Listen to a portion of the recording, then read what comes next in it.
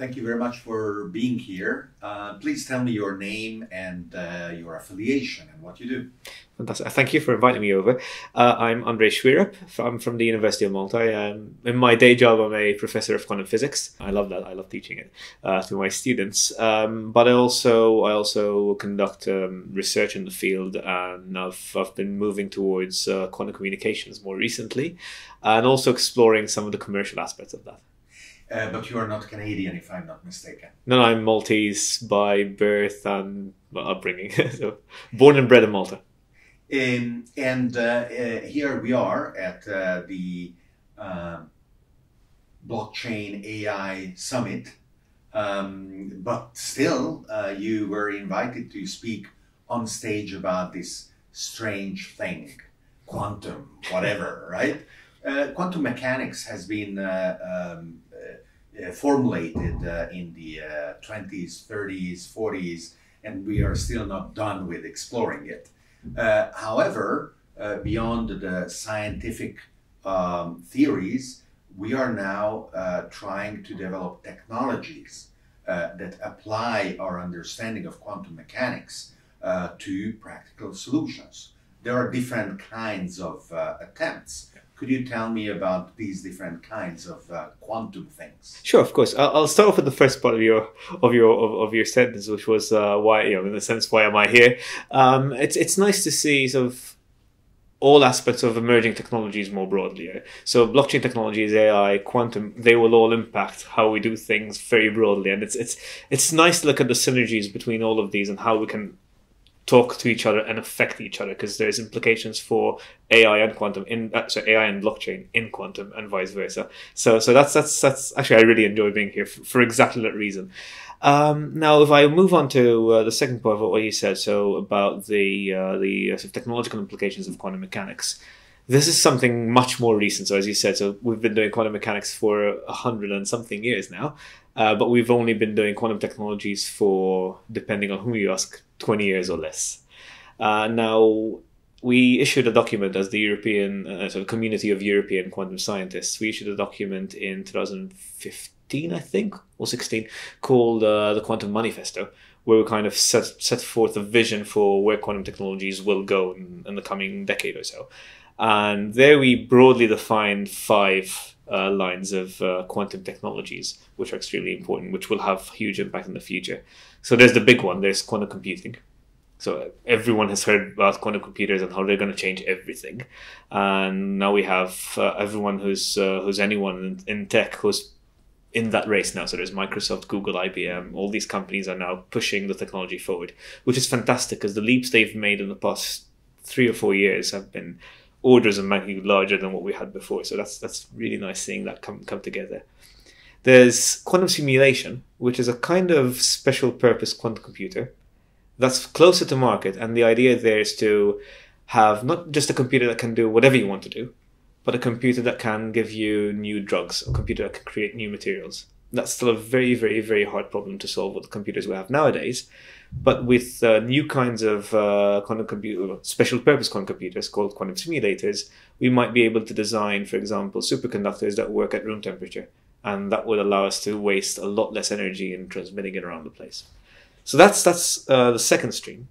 Then there's quantum communications, which is uh, very very important. And quantum communications are a kind of uh, a response a response to the threat posed by uh, quantum computers, because quantum computers can actually break or will be able to break our currently used security mechanisms. So, public key cryptography, not all of it, but a lot of the algorithms that are used are vulnerable to quantum computers. The ones which are not currently vulnerable, we actually don't know whether they will be vulnerable in the future. So one has to also look at that with some with some caution. So we um, there's, there's quantum secure communication, which tries to guard against that and tries to create a, an environment where no one can attack our communications, even if they have a quantum computer. Then there's quantum sensing. And the example I always give, and this was given to me by someone working in the UK, is in London they waste something like 100 million pounds a year digging in the wrong spot. Uh, simply because uh, there's so much history under the streets of London that there's always a Roman this or a, uh, you know, a Victorian that. Uh, but it's very, very hard to see or sense what's beneath the surface. So we need better sensors. And it turns out that there are some quantum systems which are perfect, they're fantastic for creating better sensors for gravitational fields, for magnetic fields, and these can look deeper which might, with much better accuracy. Basically, save the taxpayer a lot of money. Plus, you know, re- prevent digging up holes in the wrong place, which is which is not a good thing. And then there's uh, quantum software or algorithmics, which is uh, an interesting field of study in its own, on its own because we actually don't know that much in terms of what we can solve with a quantum computer. We're still developing this field, and we have what potentially is the biggest revolution in, in computer science, but we still have only a small number of algorithms that we know work better on quantum computers. So what else is out there? What else can we break? What else can we do faster? And there's this emerging field of um, quantum computer science, if you want to call it that way, that looks into creating these algorithms. Now, all of these have very, very direct applications in, in, in many facets of society. Uh, so you are uh, one of the signatories of the Quantum Manifesto uh, that uh, uh, recommends probably the EU to invest uh, and yes. give you more money. exactly. But you also have your own specific passion and, and yes. specialization what is that and, and what are you doing in that field of course uh, so I, i've actually got sort of uh, a leg in two different fields uh, so one of them is more on the theoretical front and there we look at uh, what we call optomechanics so it's tiny mirrors that vibrate and using light, we can control the motion of these things. We can create uh, new kinds of switches. We can also use it as a as a probe to figure out how the universe works uh, in between the quantum world and the classical world around us. So there's a lot of interesting stuff going on there. That's where a lot of my day job is actually.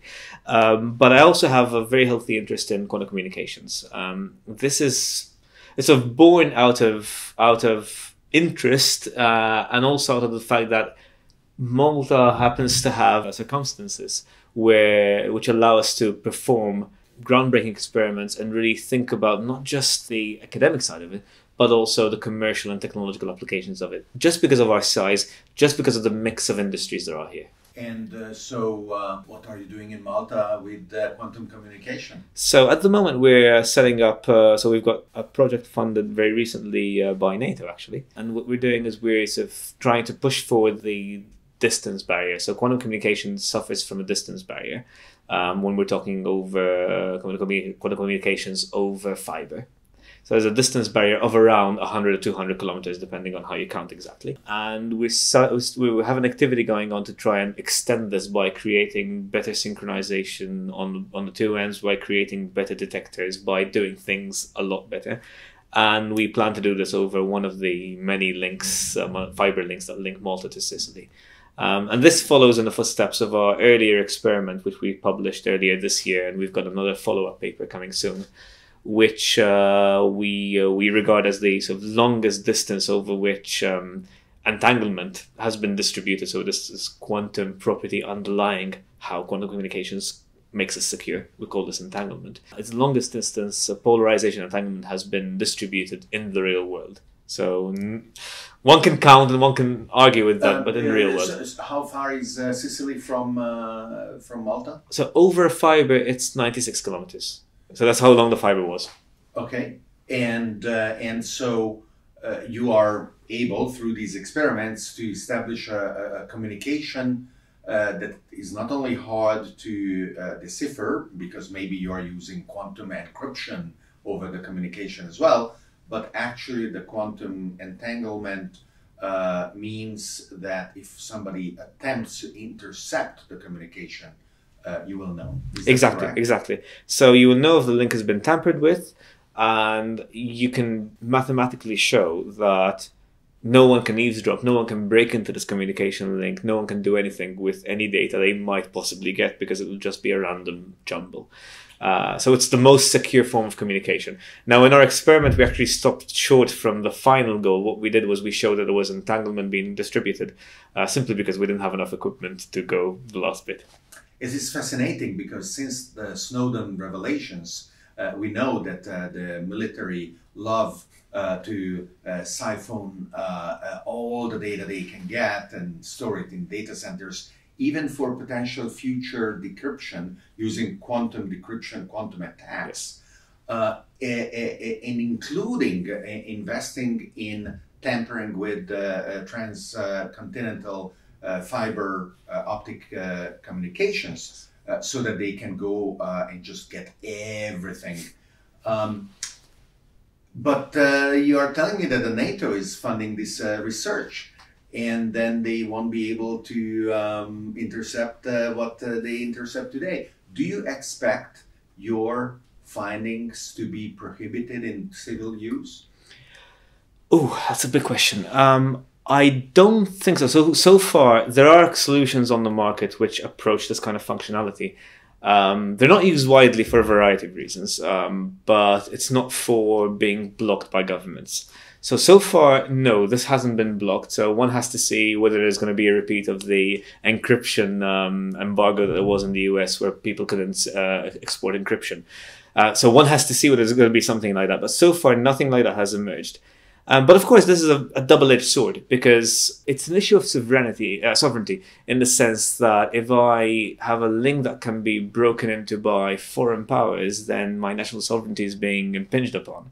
So it's it's also important for the people who can break into links. It's important for them to invest in these links themselves because they know that their counterparts elsewhere have the same capabilities that they do, or very similar capabilities.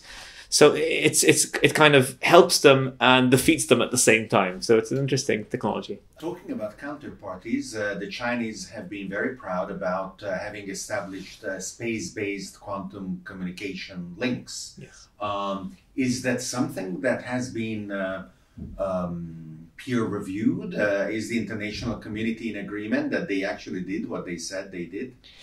Um, so I, the same people who commu- who collaborated with me on the Sicily link are also in one of the papers with the Chinese who, uh, when, when, they sent some quantum, uh, quantum, encrypted information, it was a video conference between Austria and somewhere in China. I can't remember the exact locations. Um, my understanding is that the community, there is consensus in the community in, in terms of peer review that this, it is what it says on the box. So that is exactly what they've done. Um, there are, of course, uh, things you can do to uh, to um, falsify certain experiments, but in my in my understanding, to my understanding, not that kind of experiment.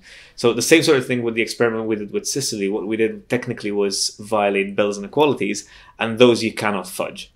So there's no way. Once you have that, you can that's a certification, that's a certificate rather, that whatever is going on in between, even if there's an adversary who's got access to the stuff in between, the communication between the, the endpoints is still secure. So once you do that kind of uh, that kind of test, then you know you really don't care what's in between. You really don't care who, who supplied you with the box because you've got a certificate that the endpoints are secure. Uh, so this can be done. This can be checked. One of the challenges that uh, more and more people have uh, in distinguishing uh, uh what uh, is true or not uh, in their world is that reality is becoming imbued with a sense of science fiction based magic that they have a very hard time deciphering. Um, a, a, typical leap that almost universally is made when talking about entanglement and uh, quantum communications uh, with two endpoints is to say, all right, so let's bring those two endpoints at a light year apart, and uh, voila, we have faster than light uh, information transmission. Um, do you have a one minute answer to why that is not the case? Yes. Uh, so let's say you've got an entanglement set up between two points, as you said, two endpoints, then I can do something on one end to uh, to transmit my information through the entanglement link to the other end. However, there's a big however. What the other person gets is still completely and utterly random. I actually have to call the person up and say, do this or do that. And once they've done this or that, the state they get at the end, the photon they have, has, has changed and has changed to become exactly what I wanted to send. So before I call them up, they still have something which is random. They still have something which cannot be translated into any information. It's only once I call them up and I send, as the case may be, one or two bits of information, that they can get the state at the end that I put in and they can get the information out. Now, um, Einstein very famously uh, believed that there would be hidden variables that uh, uh, would overcome the uh, things he didn't like about quantum mechanics. And uh, some of the uh, results of the, based on Bell inequalities and the non-locality of, of entanglement were used to prove that there are no such hidden variables and that indeed, as weird as it looks like, this is the universe we are uh, living in. Unfortunately, uh, epistemologically and existentially, what this also means is that people go and say, oh, but Einstein was wrong about something he said, so as a consequence, uh, uh, Andre could be wrong about uh, the speed of light communication, and maybe in five years' time, uh, we will be able to do um, hyperspace travel because I've seen it in the movies at Star Trek. Are there things that you are pretty sure um, science uh, is not going to falsify? It's a very big question, a very good one. Um, causality. so I, I, I am a firm believer in causality in the sense that if A causes B to happen, there is no way of turning this around and saying that B happened before A. Uh, so from that, that kind of using that as a base, you can kind of draw the line at what's possible and what isn't possible. So there are ways of using causality and its sort of um, mathematical formulation to limit what we call uh, generalized probability theories. So if mm-hmm. one goes beyond quantum mechanics, which is a very specific probability theory, and one goes beyond quantum mechanics and says, okay, I'm going to allow more general theories to exist, maybe ha- not having hidden variables necessarily, but you know maybe it's something which we can't even formulate easily. What kind of theories can exist? if I allow, if I only believe in causality, for example, or if I believe in causality in something else, and one can delimit and one can say, okay, actually, these are theories which make sense because I can't have something happening before or after something else and still you know, causing something else to happen. Um, so I, if you had to ask me, that is the one golden rule, and of course, um, there are ways, there are many, many different ways to phrase it, and uh, so nothing traveling faster than light is one way of phrasing or one consequence rather of it. Um, so yeah, I, I would say that anything that violates causality is likely to never happen. Um, as uh, theorem um, um, states that very soon uh, our formal systems uh, become powerful enough to formulate undecidable statements and my interpretation of that is a huge degree of uh, freedom with which we are endowed because at that point we are uh, empowered to pick one or the other of the outcomes as an axiom of an extended formal system. Okay. The simplest example is uh, uh the um, axiom about parallel lines, uh, where if we say that actually they do meet, or they uh, diverge, we will get uh, non-Euclidean geometries, uh, which are perfectly fine from a mathematical point of view, a little less intuitive than not what we um, uh, normally study. Um, and we can keep doing this because, of course, the extended uh, theory will also have uh, unprovable statements. Yes.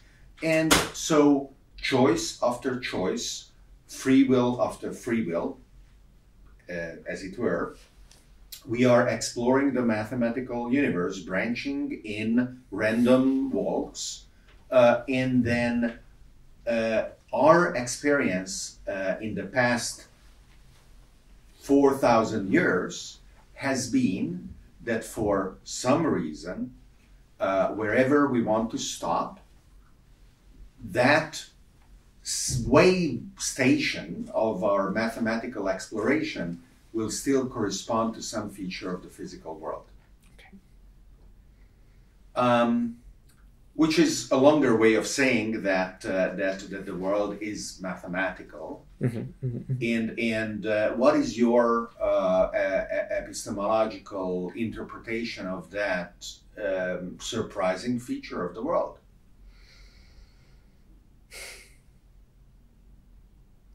Something I never thought about properly. I have to be honest with you. Um, it is,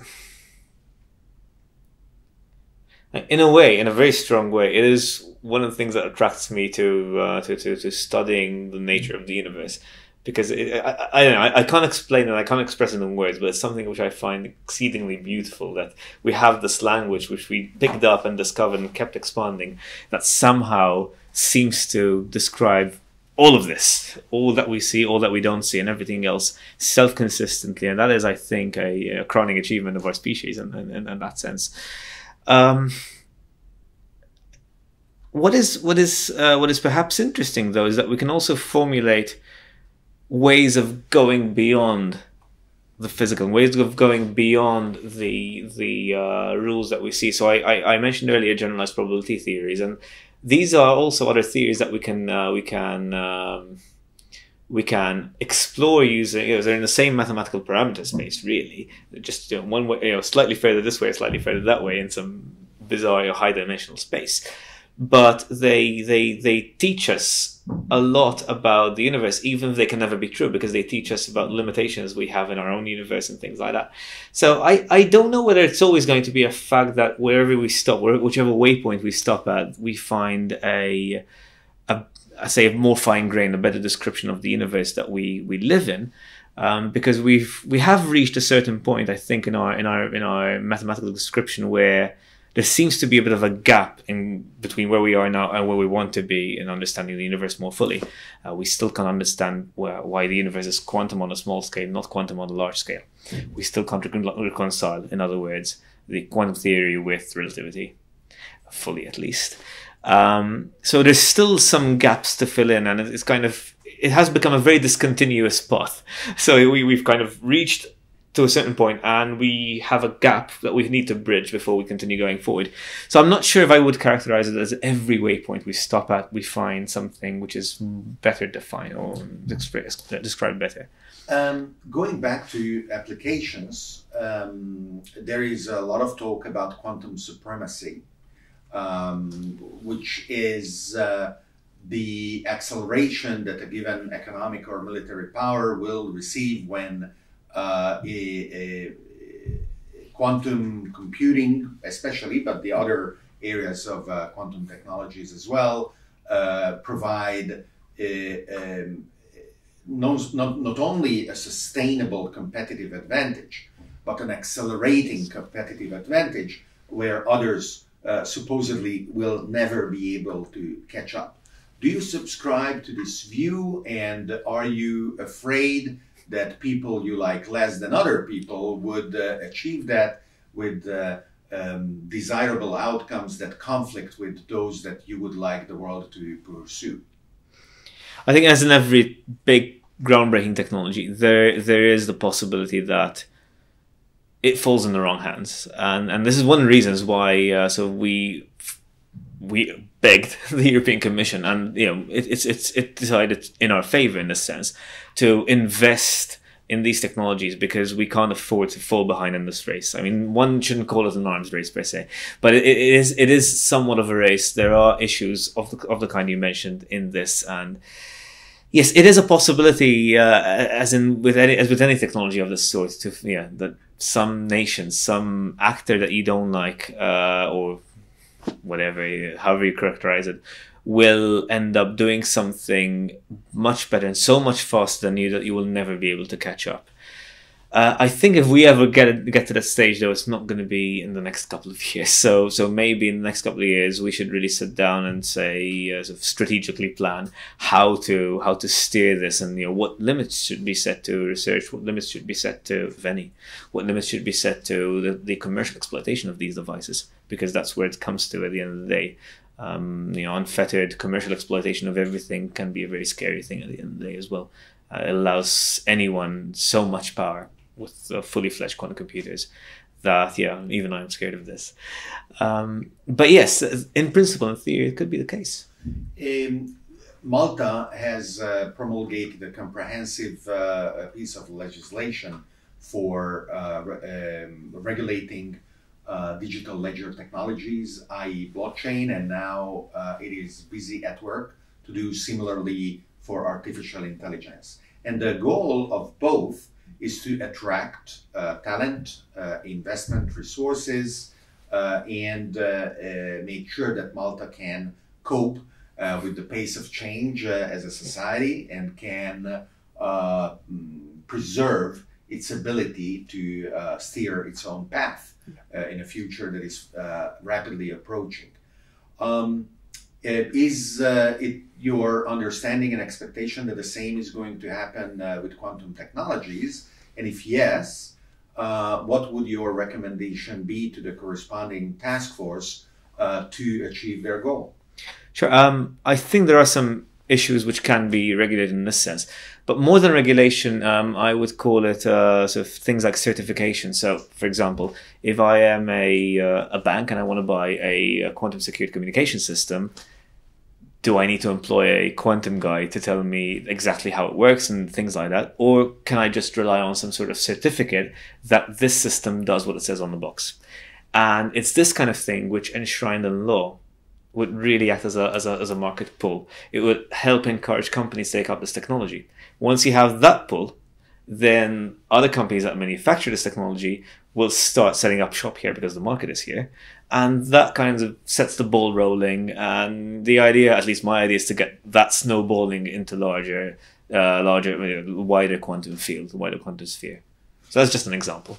And uh, it has been suggested that it would be also useful to create a science park where talent uh, and, and, and, startups uh, and academics and entrepreneurs in residence and uh, um, uh, investors, of course, can be together and by osmosis yeah. uh, at the coffee machine, um, mutually uh, energize and, and, and, and cross fertilize their ideas. And, and, you know, a lot of uh, these things uh, coexist. For example, uh, storing those certificates on blockchain and whatever else is a perfectly natural Bingo. thing. So, um, in, in your experience in interacting with uh, the Maltese infrastructure, uh, what are the um, uh, lowest hanging fruit uh, to overcome the, the, the, barriers that prevented this uh, from happening uh, up to now?